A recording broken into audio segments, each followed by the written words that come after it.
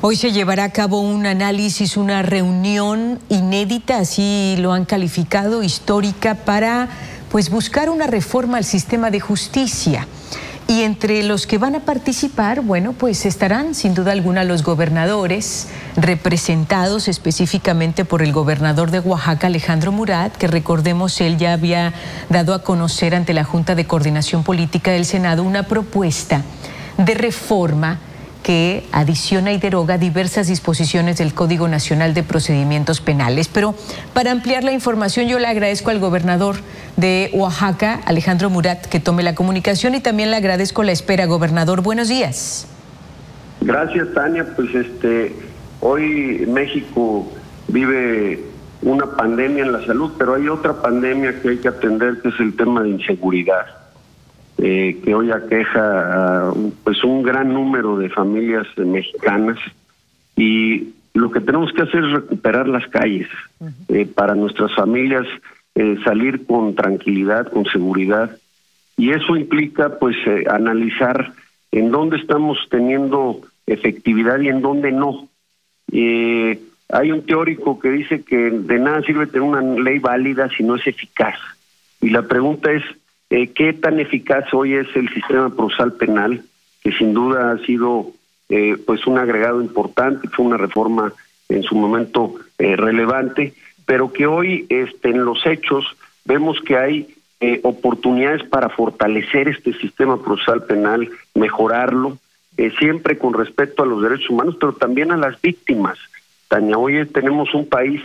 en México, lamentablemente, en donde hay víctimas en donde hay un nivel de impunidad muy alto y por eso tenemos que cuidar sus derechos. Y si lo hacemos de manera correcta, vamos a proteger a las instituciones. Y de eso se trata la conversación que estamos teniendo, de ver en dónde hay ajustes que podemos este, hacer rápido y para que la gente hoy que nos escucha, tu auditorio, pueda entenderlo mejor. Déjame ponerte dos ejemplos eh, muy relevantes. El tema de las víctimas, en el caso específico, por ejemplo,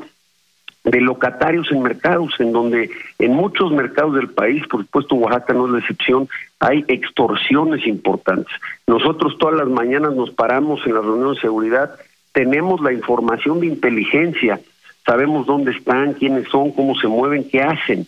Y eh, muchas ocasiones no nos podemos detener porque el dicho de la víctima, en este caso el locatario, no sirve como prueba fehaciente para poder eh, vincular a proceso y detener rápidamente a estos delincuentes que están eh, lastimando y encuentran pues eh, un, un, este recoveco en donde pueden hacer este tipo de actos delictivos. O una mujer por ejemplo que está en su casa que lamentablemente alguien le pega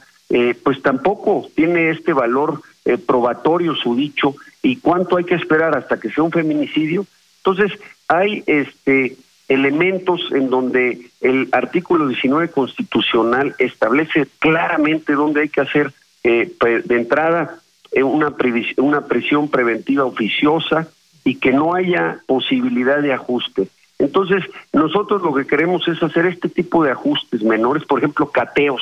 Muchas veces para poder construir hoy el sistema procesal penal eh, se, se enfoca mucho en que del lado del Ministerio Público, que debe ser ese gran acusador, que detenga a la gente, pues tiene que construir el caso. Pero muchas veces haces un cateo y hay que reconocer, hay corrupción en los sistemas este pues de las fuerzas muchas veces y se filtra la información cuando llega eh, pues ya hacer la fiscalía el cateo ya movieron las cosas ya no existe nada entonces podríamos tener cateos en, eh, en donde se establezcan lugares diversos para no avisarle a los malos a dónde los vamos a ir a investigar. Entonces, hay una serie de ajustes eh, que queremos eh, proponer desde el lado de los que estamos todos los días en tierra evaluando y especialmente para qué? Para fortalecer a las fiscalías de los estados, por supuesto, a la Fiscalía General de la República y recuperar las calles. Y por el otro lado, pues los poderes judiciales, que tengamos también mayor certeza en los criterios eh, que los jueces emiten y si podemos ir delineando estos ajustes que yo considero pues eh, son menores, pero ve el impacto que pueden tener pues eh, en la vida diaria, lo que vamos a hacer, Tania, es reducir ese nivel de impunidad y lo más importante, darle tranquilidad a nuestra gente que todos los días está al acecho de este tipo de delincuencia. Entonces, lo que ustedes van a proponer que es clave este Código Nacional de Procedimientos Penales que sea ajustado para que entonces haya una justicia adecuada en los estados. ¿Lo estoy entendiendo bien, eh, gobernador? En efecto, en efecto, Tania, mira, de lo que se trata es de agarrar a los malos, para los que nos escuchan, y para agarrar a los malos hoy este sistema a veces nos hace hacer muchas cosas para poder probar cuando tenemos eh, elementos como esto que te decía, a ver, eh, supongamos que le pegan a alguien, a una mujer, y pues ella no, no tiene esta capacidad para poder utilizar este dicho, porque entonces tienen que hacer otra serie de elementos porque su dicho no vale. Y entonces no puedes detener a este delincuente, no lo puedes tener eh, con, eh, prisión preventiva, algunos le llaman esto a la, a la puerta giratoria, a veces detenemos a alguien y a las horas sale esa persona ¿Y qué es lo que pasa, Tania, en los hechos? Pues la gente dice, ah, ya se arreglaron, mira aquí la corrupción entre el fiscal o el gobernador, ya se amarraron y entonces sale el malo, porque la gente en los pueblos, en los municipios sabe en dónde están eh, metidos los que están haciendo este tipo de delincuencia. Y lo que sucede es que a veces no es que se pongan de acuerdo, por supuesto, sino que la ley eh, establece una serie de elementos que a veces es complejo, complicado, este, que se pueda eh, probar y se pueda detener, pero a ver, es tan sencillo como decirte que el artículo 19 constitucional establece cuándo debe de haber eh, prisión preventiva y lo que está sucediendo es que hoy existe eh, pues un criterio de proporcionalidad que utilizan los jueces, entonces ellos pueden ajustar y esto hace que a veces pues estos delincuentes salgan. Lo que nosotros queremos es claramente atacar este lo que más se está lacerando, que es esa percepción de impunidad de que no pasa nada, de que las autoridades no hacen lo que les toca y que los delincuentes pueden hacer lo que quieran. ¿Por qué? Porque estamos también dejando de lado a la víctima, Tania. La víctima, eh, por lo regular, pues en este caso, pues eh, está siendo afectada en sus derechos. Yo no estoy hablando de que violentemos los derechos humanos, de que quitemos y hagamos una gran reforma para un nuevo sistema procesal penal, pero lo que sí estamos diciendo es que la ley es dinámica y que cuando vemos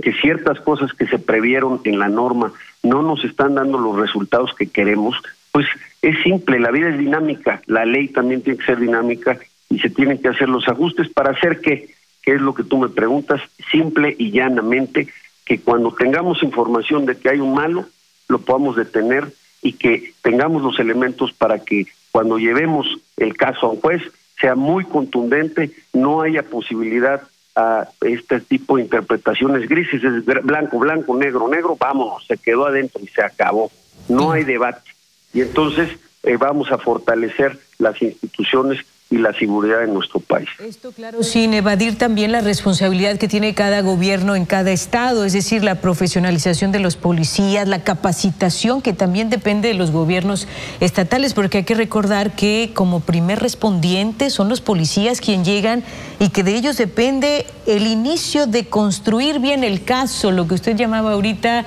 pues el llamado debido proceso, ¿no? En efecto, Tania, todo eso se está haciendo y se debe hacer. Y te puedo señalar que eh, no tengo duda que en la mayoría de los estados, por supuesto en Oaxaca, hemos ido en la ruta de este proceso de capacitación. Pero a veces tenemos que reconocer que puede haber obstáculos en la ley que nos están eh, impidiendo ser eh, pues más eficaces en este sentido de, de poder detener pues eh, a los malos. Con, eh, te digo, estos ejemplos, yo estoy haciendo una, eh, una serie de propuestas, más de 21, y lo que nos interesa es que se abra esta conversación y reconozcamos dónde sí está pasando esto. Yo te puedo decir que lo he hablado con la mayoría de los gobernadores del país, por eso pudimos ir al Senado hace alrededor de un mes, por eso hoy vamos a volver a tener esta conversación. Yo agradezco al senador Ricardo Monreal que es el presidente de la Junta de Coordinación, que está haciendo esta convocatoria. Estará hoy el fiscal general de la República, entiendo, estoy eh, también, entiendo que estará el presidente de la Suprema Corte. Y bueno, pues tenemos que hablar de este tema y ponernos de acuerdo para ver en dónde en efecto estamos teniendo estos obstáculos en donde aun cuando tengamos la mejor capacitación, a veces si tenemos estos pequeños ajustes, como te decía, tenemos nosotros 21, puse tres ejemplos, podríamos ser eh, más eficaces y no solo tener una ley eh, válida en donde digamos, bueno, hay que capacitar o vamos a poner penas de 20, 100, 150 años o al infinito, pero si al final pues no estamos siendo efectivos en el día a día para poder detener a esta gente y esta gente entonces lo que hace es que va, pues esto de los locatarios es un ejemplo muy claro.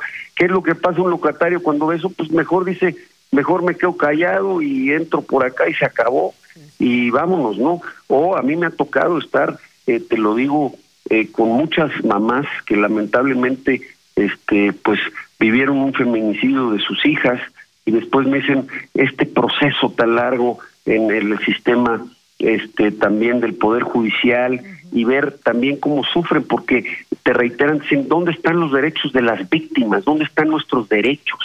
y bueno a veces hay que analizar la ley y reformarla para poder hacer los ajustes necesarios y ser eficaces por supuesto sin violar te lo quiero reiterar porque algunos que nos escuchan pueden señalar hoy los derechos humanos sin duda hay que respetarlos pero también no puede ser a costa del derecho de la víctima. Correcto, gobernador, pues estamos muy atentos de este análisis de una mesa de alto nivel en el que por supuesto hay representación de los gobernadores. Eh, con usted muy amable, Alejandro Murat, gobernador de Oaxaca, buenos días.